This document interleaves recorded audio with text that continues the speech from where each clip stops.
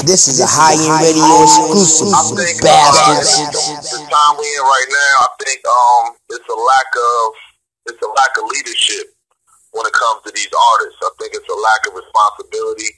You know, um, like you see what's going on with you know you got people rising up, not just all in America, all across the world. You know, and, and back in the day, you know, when it was uprisings and um and, and injustices going on you know, you you had artists who spoke to that. Like that's what you know when when when Pac came out, he was speaking to you know what we was going through in the streets and, and, and as young dudes in the struggle with. You know what I mean? So I think these days is really a lack of. It's more so you know people trying to get their songs in the club and on the radio.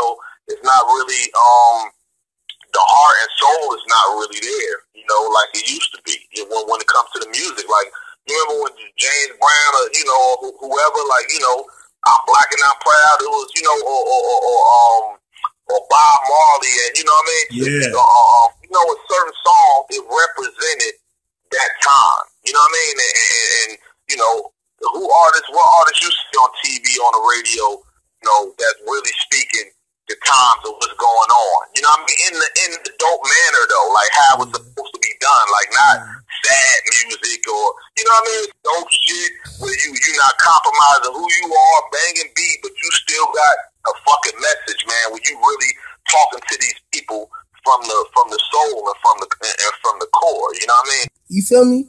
I mean, Right, right. The, the way we still do it, but Yeah. you know, we not on the we not on the platform, you know, where it's, it's supposed to be out there. You know what I mean? But um, you know, we still doing that. Like I promise you, ain't none of these dudes making realer music than us right now. Like we can go song for song, catalog for catalog, and we shitting on everybody. You know what I mean? Like, and that's just the truth. Like we could we could bring the cameras out, any rapper you fucking pick can't fuck with us. We, we, I'm, I'm talking. I'm not even talking about our shit with Pac. I'm talking about outlaws. You Yeah. feel me?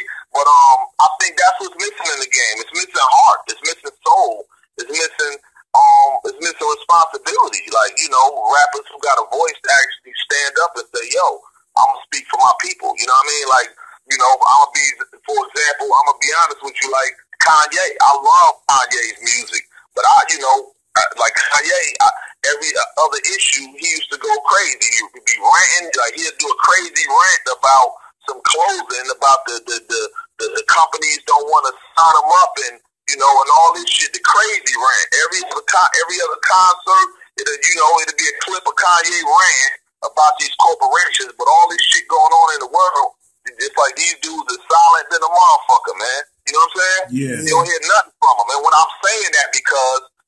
got nothing but respect for that guy. I love his music.